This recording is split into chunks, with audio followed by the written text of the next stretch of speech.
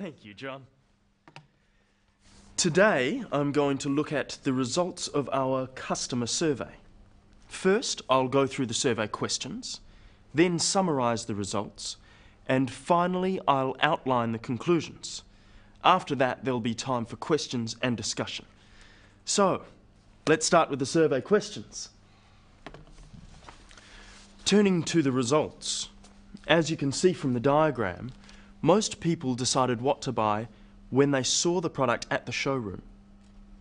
About one third made their decision based on what the salesperson said. The others knew what they wanted to buy already. Most of those made their decision on the recommendation of a friend. Only a few said they relied on advertising. Let's move on to the conclusions. The first one is that it's very important that salespeople on the floor know about our products. Another is that after sales service is critical. People who experience good after sales service are more likely to recommend a brand. And finally, advertising. It's expensive, so we need to make sure we're getting results.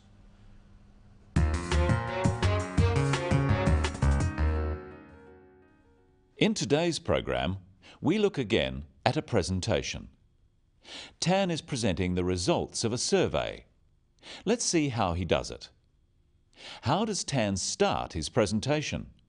Today, I'm going to look at the results of our customer survey. When giving a presentation, it's important to state clearly what you are going to talk about at the beginning. What is your topic? For this, Tan uses the future tense, I'm going to. He could also have said, I will. And instead of look at, he could have used other words examine, analyze, review, discuss. After introducing the topic, what does Tan do next? First, I'll go through the survey questions, then summarise the results, and finally, I'll outline the conclusions. After that, there'll be time for questions and discussion. Tan outlines the structure of his presentation. There were three parts. Notice how he signals this by using sequencing words. First, then, and finally. The structure of his talk is introduction, then part 1, survey questions, part 2, survey results, part 3, survey conclusions. There's one more sequencing signal in his introduction. Did you hear it? After that, there'll be time for questions and discussion. Even though Tan said finally he would talk about conclusions, he has something after that. This is because the questions are not part of his presentation. He's telling his audience that after he's talked about conclusions, it will be time to ask questions. So, sequencing words are very useful. They tell your audience how many parts are in your talk, and they can signal when you are moving from one topic to the next one. Sequencing words are words like firstly, secondly, thirdly, then, next, finally, after that, following that, and later on. Another type of signal can be used to show you are moving from one part of your talk to another. Here are three that Tan uses. Practice them with him. So, let's start with the questions. Turning to the results, let's move on to the conclusions. When we speak in English, pauses and intonation are as important as the words we use because they help people understand. Listen. Let's move on to the conclusions. The first one is that it's very important that salespeople on the floor know about our products. Another is that after sales service is critical. Without pauses or intonation, it's much harder to understand and it sounds boring. Let's add pauses. Let's move on to the conclusions. The first one is that it's very important that salespeople on the floor know about our products. Another is that after sales service is critical. Pauses should come between sentences, here. But you'll notice small pauses in the middle of sentences, after phrases. These help the listener to follow what is being said. Now we add intonation and stress. Let's move on to the conclusions. The first one is that it's very important that salespeople on the floor know about our products. Another is that after sales service is critical. Intonation is the way we pronounce sentences. Note the downward intonation at the end of sentences. Let's move on to the conclusions. About our products. After sales service is critical. Stress occurs in words and sentences. In words, one syllable is stressed.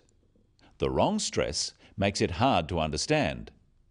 So, conclusion, not conclusion. Products, not products. Even more important in speaking is to stress the important words in a sentence. This helps the meaning of what you are saying.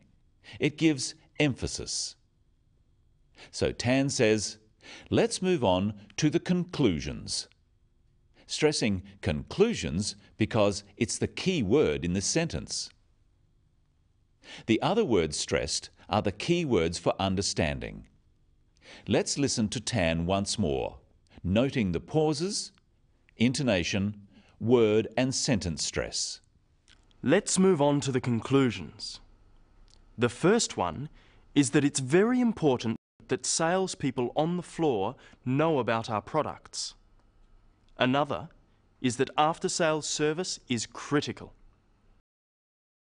Let's look at the diagram and how we can describe numbers or statistics. First, Tan says most people decided what to buy at the showroom.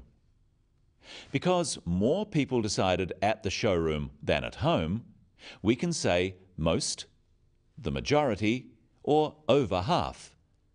To describe people deciding at home, which is less than 50%, we could say a minority or less than half. Looking at the reasons for decisions, we are comparing four groups of people. We can use descriptive words such as many, some, a few. And we can say the greatest number or the highest percentage. The greatest number of people went by the salesperson's recommendation. We could say only a few relied on advertising. And we can use words like approximately, about, nearly, over, and under. Approximately one third, about a quarter, over a quarter, under a third. Finally, let's look at Tan's conclusions. The first one is that it's very important that salespeople on the floor know about our products. Another is that after sales service is critical. People who experience good after sales service are more likely to recommend a brand. And finally, advertising. It's expensive, so we need to make sure we're getting results. Notice again how Tan uses signals for his conclusions. His audience can clearly hear that there are three. He says, the first one, another, and finally. Notice also how Tan uses adjectives to make his points. You shouldn't use the same words all the time. What are the adjectives? They are important, critical, and expensive. So, to summarise, state your topic, outline the structure of your presentation, use signalling and sequencing words, pay attention to intonation and stress, use descriptive words and adjectives, not just numbers. And in conclusion, that's all today on the Business of English.